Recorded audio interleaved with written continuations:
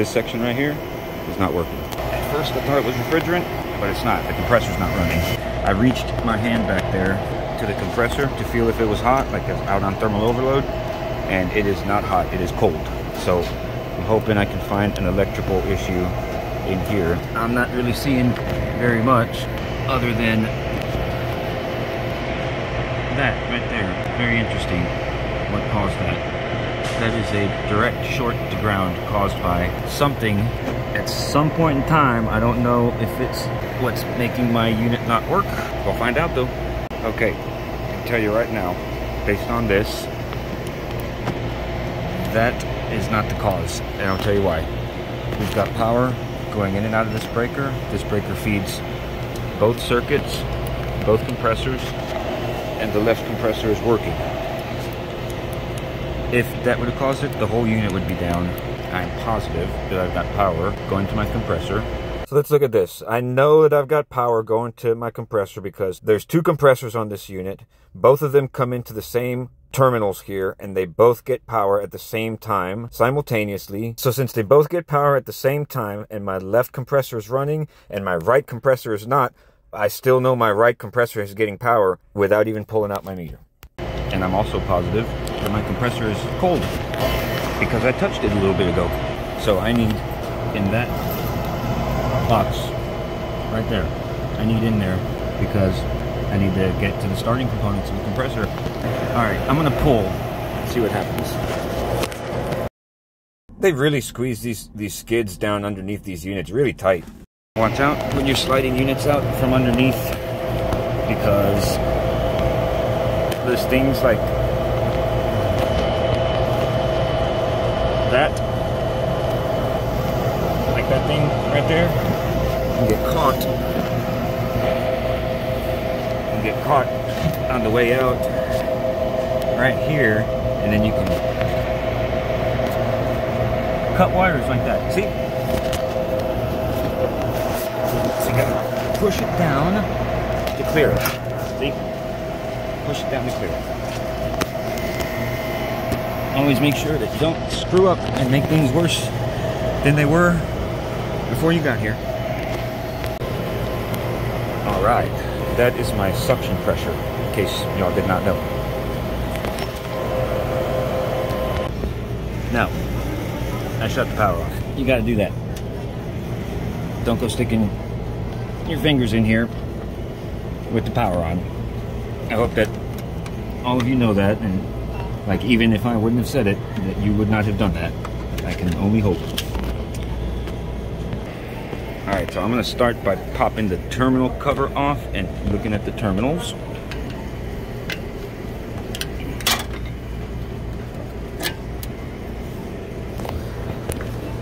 Alright, cool. The terminals look good. Now, where am I getting power from? Is the question. So my power coming from here, going into there, coming out of there, and going to this, this terminal block right there. You see? You see? That terminal block feeds my fans. So the simple fact also to to prove my theory that we have power going to this, this the fans were working. So what is feeding power to this?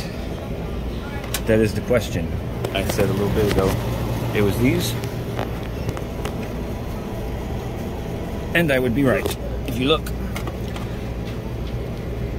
this one, and the other one like it, right there, that's red, that one, and my green, go, they go into there. Come out of there and go over here to the one that says compressor 2. Just like I thought. So since I know I have power, and like I am positive that I have power going to my compressor, I do not feel the need to check for power here. I don't. You can if you want, but, but I don't. So I'm to check my starting components. My start capacitor. Well, first I'm, I'm gonna check my resistance right there. That's what I'm gonna do. But in the meantime, I'm gonna turn it back on so that the other one comes back on and it keeps things cool. And see, fans are running from what we saw on that terminal block. That means I've got power on that plug down there. Okay, so this thing is locked in a thermal overload. They do that sometimes. They will go into thermal overload and they will never come out. So,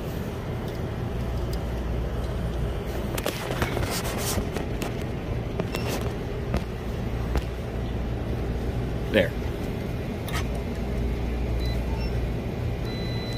All right, so we've got our continuity there, but it's open there, and it's open there. That means it's locked in thermal overload. We have continuity between start and run, and it's open between common and everything else. And it's cold, not warm at all. Damn, I left my big crescent wrench in my truck. Sometimes this works, sometimes it doesn't. But if you whack it hard enough, you can make that switch go over.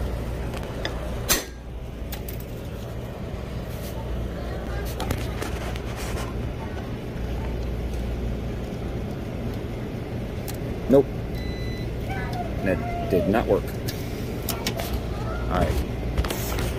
One more time. Over here. Yeah, that, that's all I'm doing in here.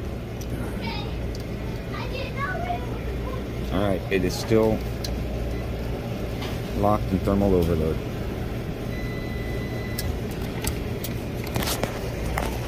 Okay, ladies and gentlemen, I'm going to put it all back together and do my invoice and send an email for a quote to replace this that should be under warranty.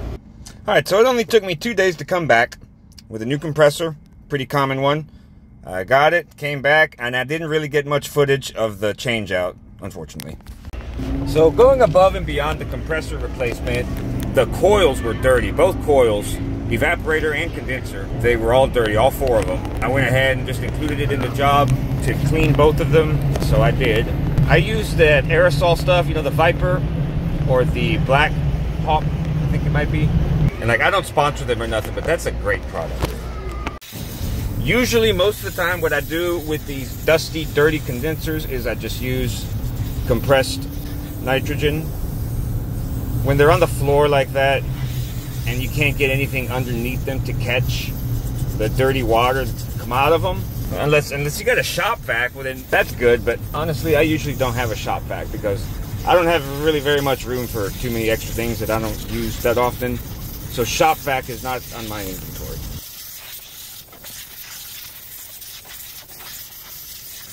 I've never had anybody complain yet, but I like to put wet rags or paper towels or whatever, even a shirt, an old shirt if I got one.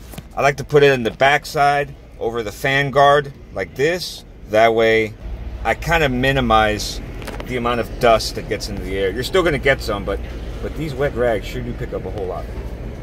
And you know, like I said, looking back through my Google Photos, I don't really have any videos on June 2nd uh, of the job except these ones. So Sorry I didn't get footage on that, um, but I just thought I would download these, put them all together in a video, and upload them for the channel. Thanks for watching.